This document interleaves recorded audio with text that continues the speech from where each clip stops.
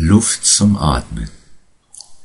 Was sind das für komplizierte Zeiten, in denen wir einfachste Dinge wie das Atmen lernen müssen?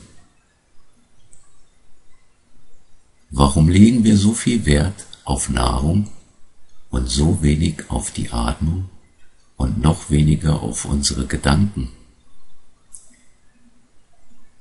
Bildungslücken sind oft Luftlöcher, durch die unsere Bescheidenheit atmen kann.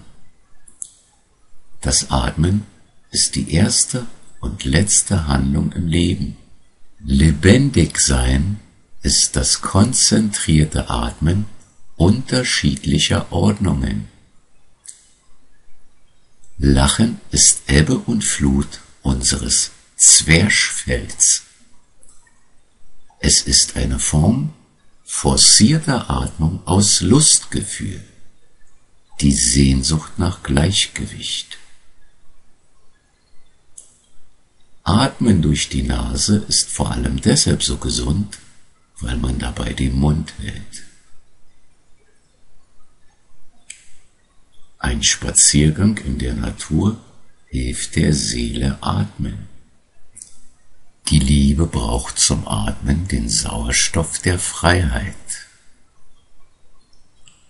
Würden die Menschen die Boshaftigkeit aus ihren Herzen verbannen, könnte die Liebe endlich wieder frei atmen. Kleine Geschenke erhalten die Freundschaft, so sagt man, und das größte Geschenk lässt uns atmen. Worte vermögen nur selten das ausdrücken, welche Botschaft wirklich hinter ihnen steht.